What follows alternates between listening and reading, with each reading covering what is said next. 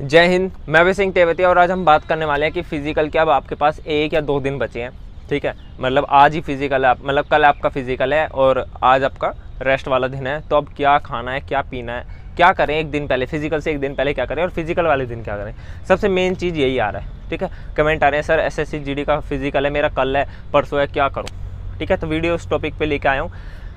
इसमें मैं आपको थोड़ी बहुत इंजेक्शन बताने वाला हूँ इंजेक्शन जिसको आपको कोई साइड इफ़ेक्ट नहीं होगा। ठीक है? क्योंकि मैं साइड इफ़ेक्ट वाली चीज़ें सोशल मीडिया पे नहीं डालूँगा, जिनका कोई साइड इफ़ेक्ट नहीं है, वो आपको यूज़ करने दूँगा।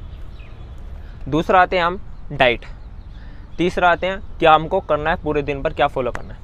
अगर आप पे फ़िज़िकल के एक दिन पहले अभी टाइम है तो बिल्कुल भी रेस्ट मतलब बिल्कुल भी वर्कआउट मत करना, पूरा प्रॉपर तरीके से रेस्ट लेना।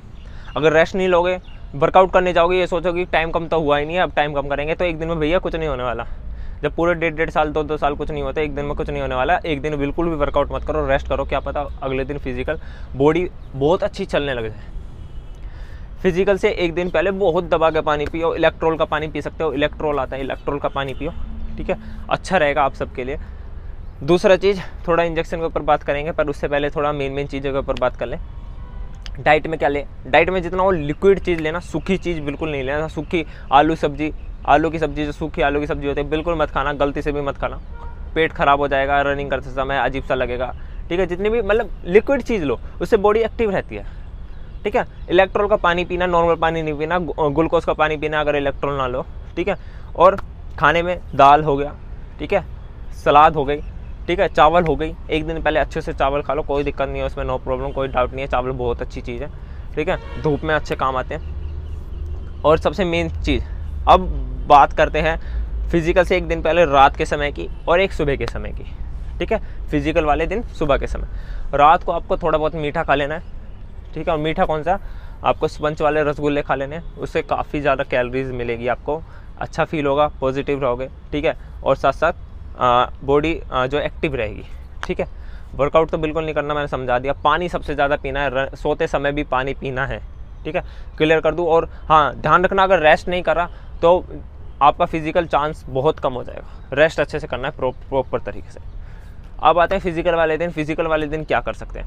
फ़िज़िकल वाले दिन सबसे पहली बात, सुबह। अपना टाइम फिक्स कर लेना कि मेरे को इस टाइम उठना है और इस टाइम तक मेरे को पहुँच जाना है, ठीक है? ज़्यादा जल्दी मत करना कि अगर मान लो फ़िज़िकल आपका है पाँच बजे और एंट्री है चार बजे तो भले ही दो बजे पहुँच जाओ, पर बारह बजे मत पहुँचना। उससे ये होगा कि आपकी रात की नींद जो है ख़राब रहेगी और नींद ख़राब होने के बाद आलसपन और चिड़चिड़ापन रनिंग अच्छे से नहीं होगा, उससे प्रॉब्लम क्रिएट होगा, ठीक है? तो रेस्ट कर लेना, अपना हिसाब से रेस्ट बना लेना कि छः बजे सो जाऊँ शाम को, आज जल्दी सो जाऊँ, कैसे भी हिसाब बना लेना, ठीक है? फिर आते हैं हम मॉर्निंग में क्या खाना है, क्या पीना है? सुबह मॉर्निंग में बिल्कुल भी चाय वगैरह, ठीक है? दूध वगैरह, दूध हो गया, चाय हो गया मतलब जितनी भी ये चीज़ें हैं ना, जो नॉर्मल हम करते हैं डेली वो नहीं खाने, ठीक है? सुबह हो सकता है तो आप ड्राई फ्रूट्स ले सकते हो हल्का फुल्का हल्का फुल्का ड्राई फ्रूट्स ले सकते हो फ्रूट्स ले सकते हो ठीक है? जूस ले सकते हो। जूस में चकुंदर का जूस हो गया। क्योंकि अगर आपको पता है कि फ़िज़िकल में भी दो तीन घंटे या चार घंटे हैं तो अपने जूस ले लो चकुंदर का जूस फ्रूट्स ले लो और आ, क्या नाम है? नारियल पानी ले लो बहुत अच्छी चीज़ें हैं। ये जितनी भी चीज़ें बहुत अच्छी चीज़ें हैं। और हाँ सुबह भी थोड़ा बहुत मीठा खा लेना। स्पंच वाले रसगुल्ले आराम से खा पी के जाना थोड़े बहुत। ज़्यादा नहीं खाने, चार पाँच नहीं खाने, एक दो एक दो। शाम को भी एक दो एक दो। और सुबह भी ऐसी एक दो एक दो, ठीक है? फिर आते हैं अब कि फ़िज़िकल का टाइम है। अब आधा एक घंटा बचा है। अब क्या करना है? सबसे पहली चीज़, एक घंटे पहले फ़िज़िकल से एक घंटे पहले बिल्कुल भी पानी जो है ज़्यादा नहीं पीना, गड़गड़ बिल्कुल नहीं करना। बस क्या करना है, आपको हर आधे या हर पंद्रह मिनट में, हर दस पंद्रह मिनट में बस हल्का सा मुँह गीला करना है।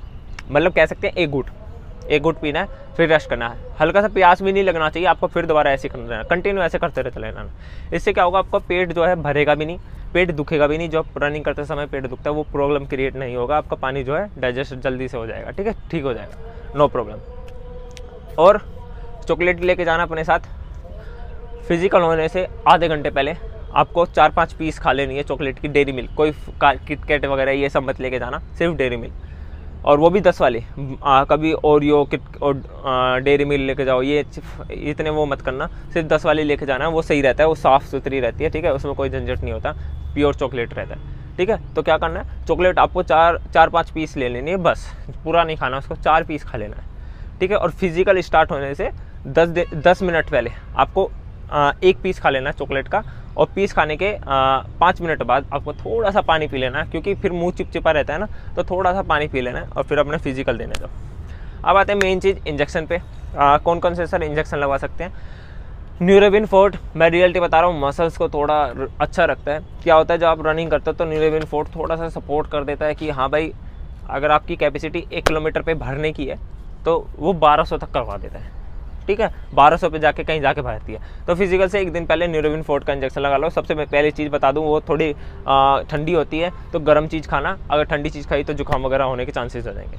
ठीक है? तो ध्यान रखना क्लियर कर देता हूँ, ये जितनी भी चीज़ अगर इन पर फॉलो करोगे तो ही आपका चांस है कि फ़िज़िकल हो होगा। क्योंकि अगर आप उठ पटांग चीज़ खाओगे फास्ट फ़ूड खाओगे, अरे चलो खा ले, क्या दिक्कत है? फिजिकली तो मानना, भैया नहीं होने वाला फिर। अगर पॉजिटिव रहोगे तो ही होगा।